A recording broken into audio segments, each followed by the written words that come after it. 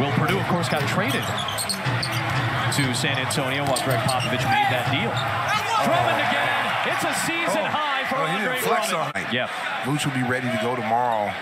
He's only played 23 minutes. He's got 22 points and 12 rebounds, and then you throw the 19 and 13. Which remember that is a really continue to play the way they've been playing. LaVine a three. On the rebound, there he is. Yep.